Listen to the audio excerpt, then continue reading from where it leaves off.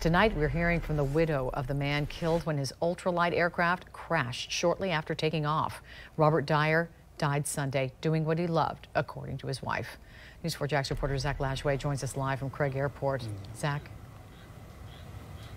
You know, Mary, it was Sunday just before 6 o'clock in the morning. Minerva came here to Craig Airport to watch her husband take off.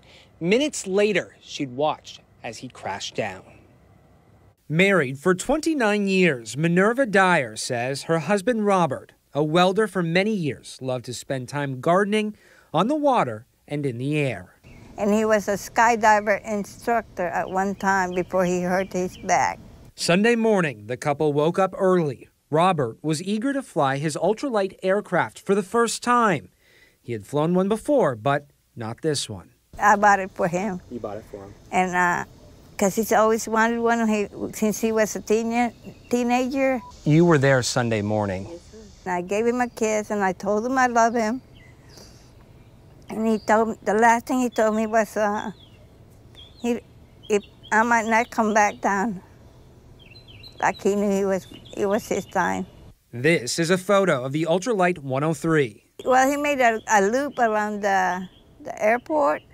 And the second loop, he made like after the HAPA loop, it, I started hearing something like it was sputtering, that I knew he was having a problem. It, there was something going on up there, and the next thing I knew, he just went downhill. When you saw that, did you know something terribly had gone wrong? Yes, I did. And I couldn't get to him fast enough. I know that he's he's gone, but at the same time, I feel like I thought he's still here with me. I think I, he hasn't dawned on to me yet that he's really gone for good, you know. I just gonna miss him a lot. I really am. What will you miss the most? Him being here with me every night. We've never been separated.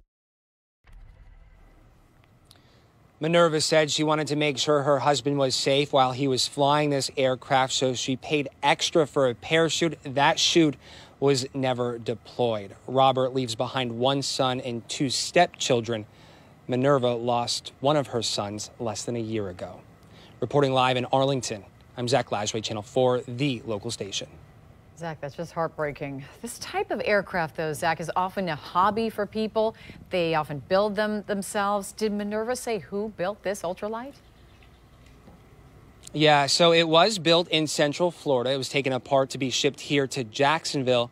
And Robert spent the past several months reassembling that aircraft. And as we know, Sunday was its inaugural flight. Tragic. Zach Lashway reporting to us live. Thank you, Zach.